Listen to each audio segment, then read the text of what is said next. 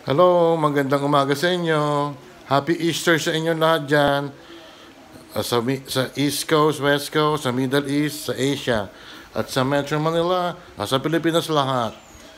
Ah, eto, Tito Noise Vlog. Ah, naipon namin ni Commander, oh, sa, ano, 2 months to 3 months, oh. Yung tag pipiso, ah no, I'm sorry. Yung tag limang piso, 10 piso, nakiipon kami ng 1,400. Tapos itong nasa plastic, ano, this is, ano eh, tagbibenching ko centavos lahat yan, oh. At least nakaipon kami ng 1,700. Oh, di may, at least may pambigas na kami.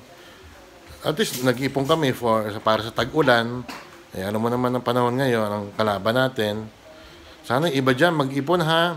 Huwag magreklamo. Eh, kung nag-ipon naman kayo kahit na 20 sa isang araw, o di nakaipon na kayo kahit magkano, eh, pinagsusugal nyo pa, pinagsasabong nyo, tapos nagreklamo kayo, wala kayong makain.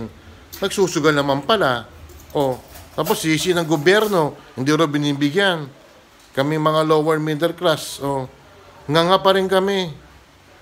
O sige, balik na lang po ako mamaya, kahit, eh, pinakita ko lang sa inyo yung mga naipon namin. Bye!